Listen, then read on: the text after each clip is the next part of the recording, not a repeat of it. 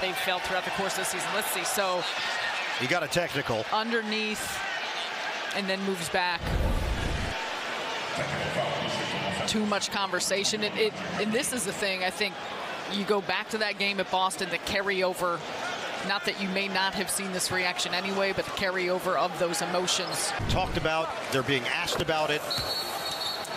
They gave Pat Bev a lot of rope, and then eventually there comes a time where they don't want to hear.